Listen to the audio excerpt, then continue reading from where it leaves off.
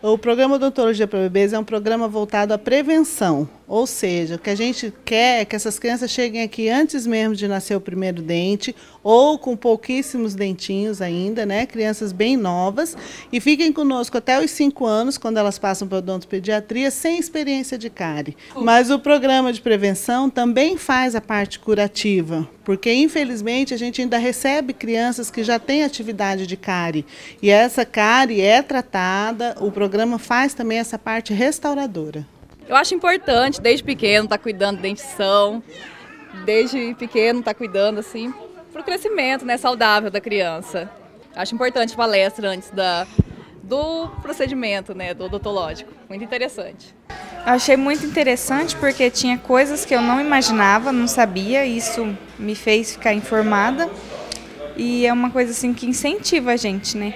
Que a gente, quando não tem conhecimento, Importante saber que quanto mais precoce for a introdução do hábito da higiene bucal, maiores serão os benefícios.